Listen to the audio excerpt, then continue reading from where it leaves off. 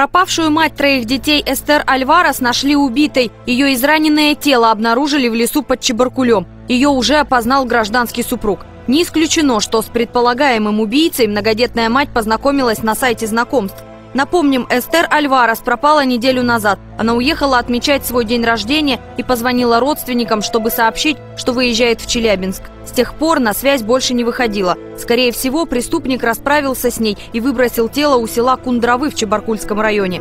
Следственный комитет завел уголовное дело по статье убийства. Несовершеннолетние дети погибшей находятся с отцом Игорем Кокоржинским.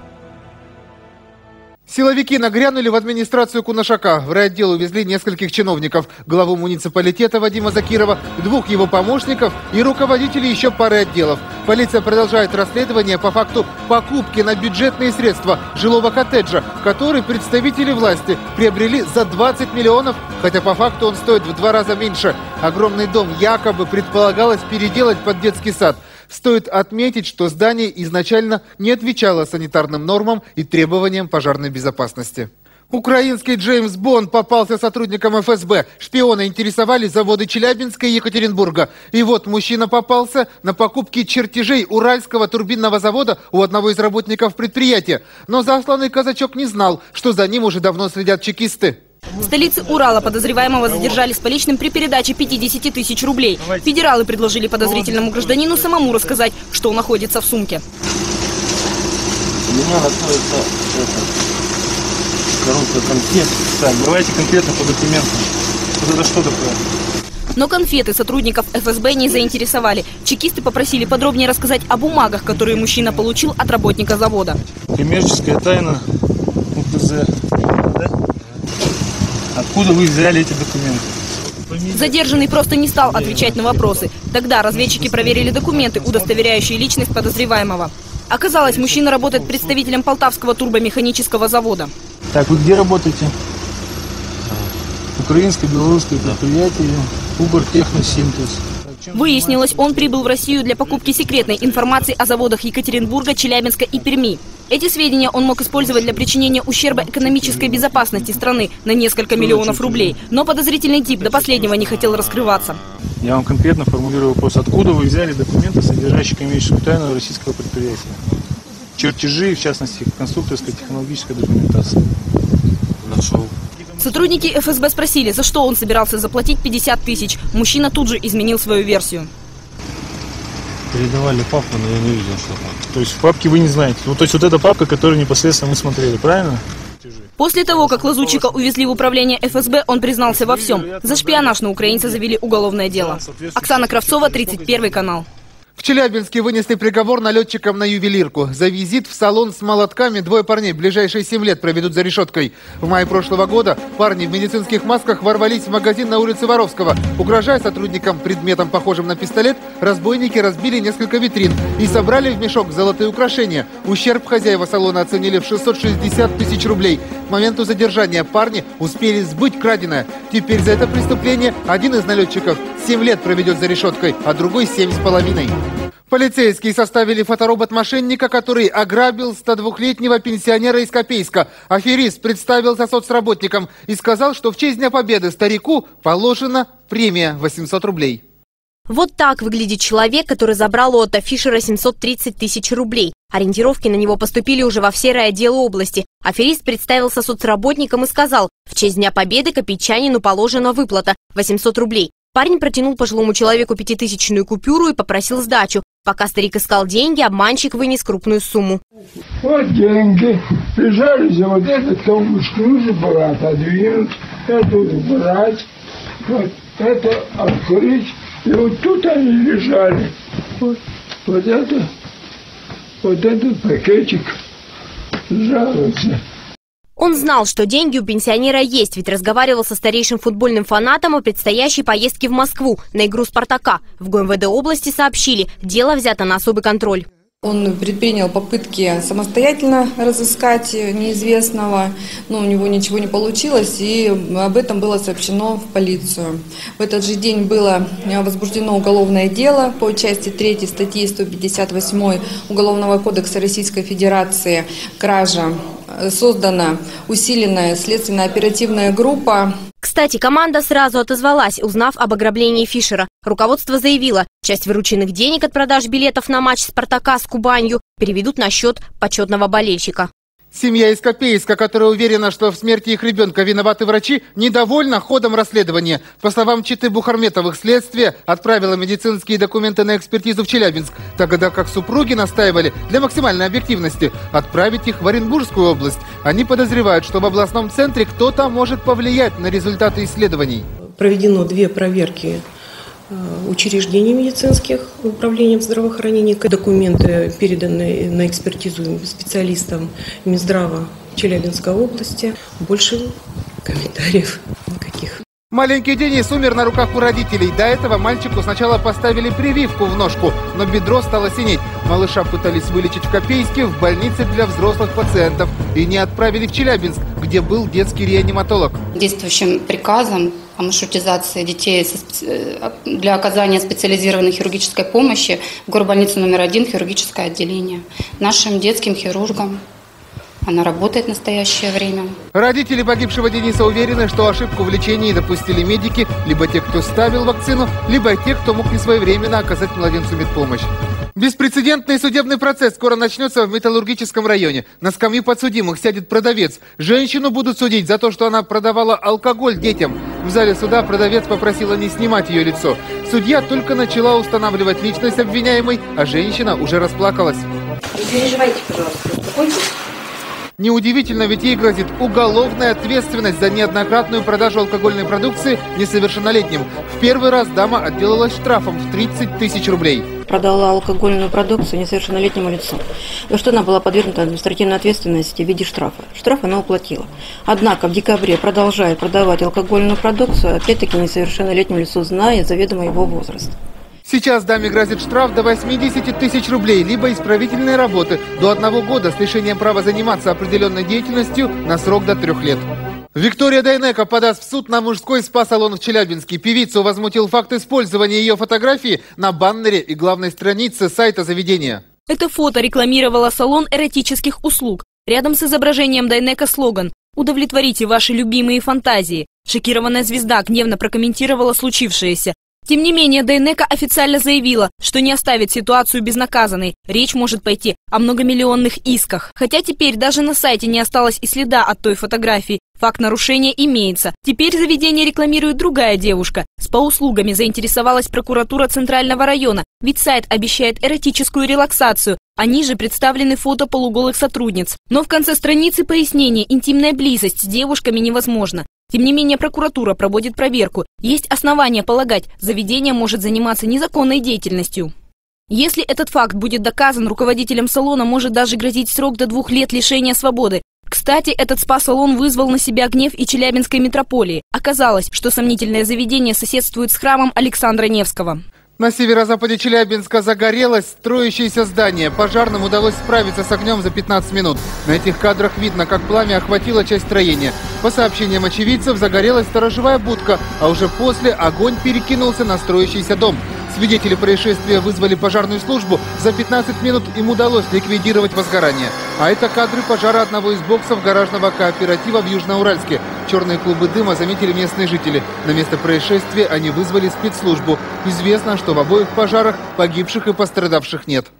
Пожизненный срок грозит двум мигрантам за перевозку наркотиков. Они пытались привезти в Челябинск 13 килограммов героина в день открытия чемпионата мира под дзюдо. Криминальный дуэт надеялся, что из-за праздника все силы полиции будут кинуты на охрану порядка, и представителям власти будет не до досмотра автомобилей. Но мужчины не знали, что их уже поджидают сотрудники наркоконтроля. Их выследили в августе прошлого года. Несмотря на то, что банда пыталась объехать главные дороги, задержанные оказались не только драгдилерами, но и участниками этнической террористической организованной группы. Наркотик они везли в Челябинск из Таджикистана через Киргизию и Казахстан. Крупную партию белого порошка они прятали в трубках, на которые были намотаны обычные шторы. Расследование уголовного дела в отношении двух выходцев из Средней Азии завершено. За содеянное мигрантам грозит большой срок заключения.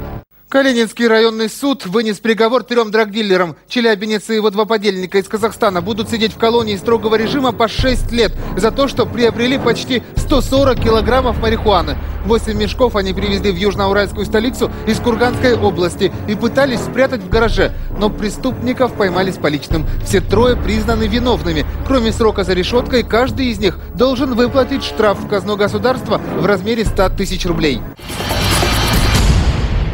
Дельта – система безопасности. Дельта объявляет акцию «Монтаж сигнализации» бесплатно. Успейте установить за минимальную цену. Просто зайдите на delta.ru и оставьте заявку на подключение. Подробности по телефону 222 1111. Задумайтесь, ведь ваше спокойствие стоит дороже. Британский лингвистический центр – это центр с современным и интересным подходом к изучению европейских и восточных языков. Телефон 250 05 20. Суши-сервис. Доставка суши в Челябинске. Акция «Хорошая цена». Оформив заказ, вы получаете скидку 40% на все меню. А также участники акции получают карту постоянного клиента. Подробнее на сайте сушиservice.рф или по телефону 8 9 222 309 444. Спонсор выпуска – Технокухня на Тополиной аллее. В магазине отличный выбор и привлекательная цена на встраиваемую технику. Внимание, супер предложение. Стеклокерамическая варочная поверхность всего за 6900 рублей. Успеете купить по выгодной цене. А время чрезвычайных новостей продолжается. Не переключайтесь, самое интересное еще впереди. Легковушка перевернулась, два человека пострадали. Аварии с камер видеорегистраторов. Школьница придумала новое, но опасное применение DVD-диском. Пришлось даже звать спасателей. Грабитель ломал челюсти старикам, чтобы те не сопротивлялись. Бутик встраиваемой техники «Технокухни» продолжает радовать ценителей стильного кухонного дизайна. Новые коллекции встраиваемой техники в наличии под заказ по интернет-ценам. «Технокухни» – техника, которая готовит.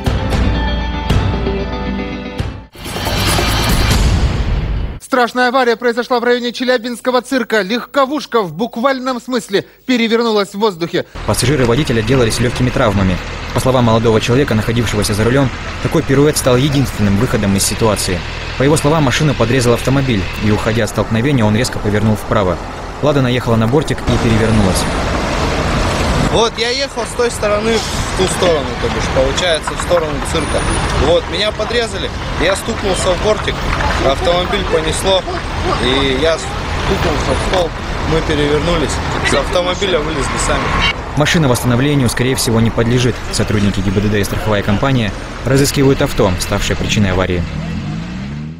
На Комсомольском проспекте иномарка залетела на остановку. Вот серебристая иномарка поворачивает на Комсомольский проспект и сталкивается с отечественной легковушкой. От удара Фиат Альбея вылетает на остановку и по пути автомобиль сбивает случайного прохожего, а после врезается в ларек. По предварительным данным, пострадавший 35-летний пешеход получил травмы, но был отпущен на амбулаторное лечение. Сейчас сотрудники ГИБДД выясняют все детали этой аварии. В Челябинский автомобиль придавил сотрудника автосервиса. Иномарка на полном ходу влетела в здание и подмяла под себя человека. Это уже последствия аварии. На кадрах видно, как мужчина лежит под иномаркой. На помощь челябинцу приехали сотрудники службы спасения. Что с ногами-то? Чувствуешь ноги? А где именно-то? В самих пальцах? Колени? Правый. Известно, что в момент аварии парень находился на диване. Возможно, он ждал очередного клиента, и в это время в сервис залетела иномарка. С помощью специального оборудования спасатели приподняли машину и пострадавшего смогли вытащить. Давай, давай, молодец, молодец, давай, давай, вытягивай. Давай, давай, давай. Тихо, тихо, ногами не двигай. Вторую ногу бери. После освобождения 25-летнего механика передали медикам. В тяжелом состоянии работника автосервиса доставили в больницу. Врачи диагностировали у него многочисленные переломы. В центральном районе столкнулись две легковушки. Оба водителя иномарок завершали маневр и не смогли разъехаться. На кадрах видно, как автомобили едут по проспекту Ленина. На светофоре загорается желтый сигнал, и поток машин останавливается. Но одна иномарка решила закончить маневр. В это же время другая легковушка стала поворачивать. И в этот момент они и встретились. От удара один из автомобилей даже развернуло. Другое ДТП произошло в Советском районе. Иномарка решила перестроиться в крайний левый ряд, но водитель не убедился, что этот маневр безопасен. В результате произошло столкновение автомобилей. В Челябинске на скамьи подсудимых сядут два водителя отечественных легковушек. Они устроили ДТП, в котором погибло два человека. Это кадры той страшной аварии. На записи видно, как ВАЗ-14 модели совершает поворот на перекрестке, и в этот момент в него врезается «Лада Гранта». В результате ВАЗ-14 модели перевернулся, и двое пассажиров авто погибли. Как установило следствие, отчасти виноваты оба водителя. 62-летний шофер на 14 не убедился в безопасности маневра, а 28-летний парень двигался со скоростью 100 км в час. И вот судить будут обоих. Два нарушения за один раз. Полицейские поймали родителей, которые рисковали жизнью своего малыша. Сначала они привезли ребенка в детское учреждение без детского кресла, а потом на глазах полиции повели маленького сына через дорогу в неположенном месте. Какое теперь наказание грозит супругам? И кто знает правила дорожного движения лучше всех? В сюжете Ольги Кокшаровой. Почему перевозили без детского удерживания? Потому что он с утра нервничает, вот и перевозили. Не, ну это же безопасность. Безопасность же вашего ребенка. Это отец маленького пассажира. Его машину остановили несколько минут назад. Своего сына он перевозил на переднем сиденье. Мальчик был на руках у мамы. За данное правонарушение данному водителю грозит штраф 3000 рублей по статье 12.23, часть 3. Удивительно, но пока сотрудники ГИБДД выписывали мужчине штраф, его супруга куда-то рванула с сыном, перебегая дорогу в неположенном месте и рискуя не только своей жизнью, но и здоровьем своего чада. Вожу двоих детей, э, использую детские кресла, вот, использую по назначению. Так-то в семье 4 человека, вот пока два кресла. Два уже совершеннолетних ребенка уже пристегиваются сами. К счастью, за весь рейд полицейских было больше тех, кто соблюдал правила перевозки детей. По правилам дорожного движения ребенок должен перевозиться в транспортном средстве э, с помощью детского удерживающего устройства, либо иного устройства, которое может обеспечить безопасность перевозки данного ребенка. Сотрудники ГАИ останавливали и проверяли не только автомобили вблизи школ, но и разговаривали с маленькими пешеходами. Оказалось, ребята хорошо знают, как себя нужно вести на дороге. Как надо идти? На какой свет светофора? Зеленый цвет. На красный стоять. А в каком месте дорогу нужно переходить? Вот нам. Пешеход. На пешеходном переходе, да? Все правильно, молодец. Кстати, тем детям, кто добирался до школы своим ходом, полицейские раздали специальные светящиеся карточки, которые советовали приклеить на верхнюю одежду, чтобы водителям было лучше видно ребенка на дороге. Веселая компания разбудила жителей тракторозаводского района. В 11 часов вечера неизвестные устроили под окнами многоэтажки аварию, но не расстроились, а стали плясать около легковушки. По словам очевидцев, эта машина не вписалась в поворот и вылетела на газон. Выехать получилось не сразу. Сначала буксовал не только автомобиль, но и его спасатели. Машину пытались вытолкнуть вперед, потом, возможно, передумали и стали толкать назад. Когда легковушку вернули обратно на дорогу, один из пассажиров, видимо, так обрадовался, что в эйфории лег прямо на проезжую часть. Кстати, очевидцы подумали, что вся компания могла быть на веселе. Парни странно себя вели и, несмотря на ДТП, все время громко смеялись. Жители поселка Залесье ломают шлагбаумы. Видимо, так они выражают свое недовольство качеством пропускной системы. На кадрах видно, перед автомобилем поднимается шлагбаум, но мужчина проезжать не стал. Он вышел из машины и стал ломать конструкцию. На его действие вышла сотрудница охраны. После недолгих разговоров местный житель уехал. Другой недовольный автолюбитель тоже решил разобраться с препятствием. Машина сначала подъехала к шлагбауму, но тот не поднялся. Тогда водитель принял решение попытаться проехать по встречной полосе. Здесь ему удалось немного приподнять железную балку, но потом шофер заметил встречный автомобиль. Шлагбаум поднялся, и машине все-таки удалось проскочить. Партнер выпуска «Дельта» системы безопасности. Они закрывали глаза на санкции и рост цен у поставщиков. Держались до последнего. Но это произошло. Цены повысились. Пока не намного. Дальше будет еще дороже. Успейте купить сигнализацию по минимальным весенним ценам. Дельта – система безопасности. Дельта объявляет акцию «Монтаж сигнализации» бесплатно. Успейте установить за минимальную цену. Просто зайдите на delta.ru и оставьте заявку на подключение. Подробности по телефону 222 1111. Задумайтесь, ведь ваше спокойствие стоит дороже. Юная Челябинка нашла DVD-диском новое применение и чуть не лишилась пальца. Она надела четыре пластинки, но снять уже не смогла. Когда рука начала синеть, пришлось вызывать городских спасателей. Придется диски ломать, мы сломаем сейчас все диски потихоньку, только так. Спасатели вооружились плоскогубцами и начали снимать диски один за другим. В процессе выяснилось, что снять их ребенок и ее старший брат пытались самостоятельно. Для этого даже обмывали пальчик мылом. Мылом, да? Из-за этого диски склеились и доставили некоторые неудобства при снятии. Но благодаря своей сноровке спасатели быстро справились с проблемой и освободили школьницу. Продажа алкоголя обошлась им в кругленькую сумму. Те, кто отпустил спиртное детям, теперь должны государству по 30 тысяч рублей. Сколько продавцов нарушили закон и попались на контрольную закупку общественников, знает Ольга Кокшарова.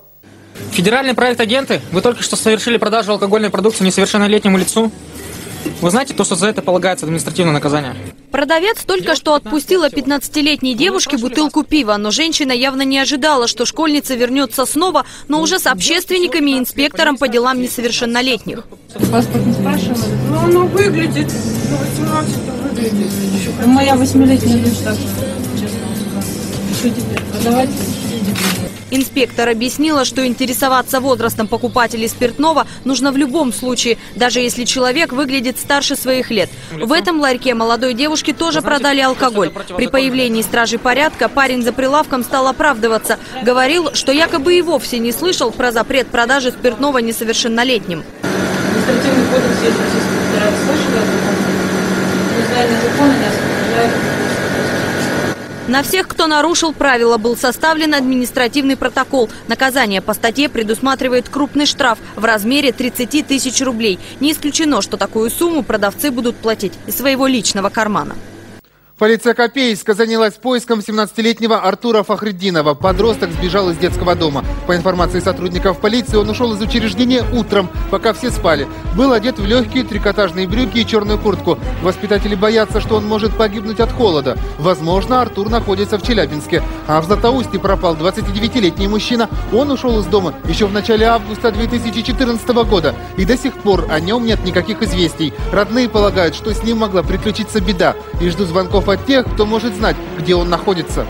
С обледенелыми дорогами столкнулись жители одного из домов в Курчатовском районе. Автор видео утверждает, что по таким дорогам не может проехать мусоровоз. На кадрах видно, как КАМАЗ сдает назад. Вероятно, водитель побоялся проезжать на этом участке. Ведь если машину занесет, то грузовик может задеть припаркованные легковушки. Также во дворе падают пешеходы. Лед на некоторых участках достигает 10 сантиметров. Но коммунальщики убирать налить не торопятся. Видимо, ждут теплых дней, чтобы все растаяло. Стать агентом нашей программы легко. Снимайте происшествия, их последствия, присылайте в нашу редакцию и выигрывайте призы от Суши Сервис. Суши-сервис. Доставка суши в Челябинске. Акция «Хорошая цена». Оформив заказ, вы получаете скидку 40% на все меню. А также участники акции получают карту постоянного клиента. Подробнее на сайте сушиservice.рф или по телефону 8 9 222 309 444. Помните, сюжеты не придуманы, таким этот мир мы делаем вместе с вами. Увидимся на следующей неделе.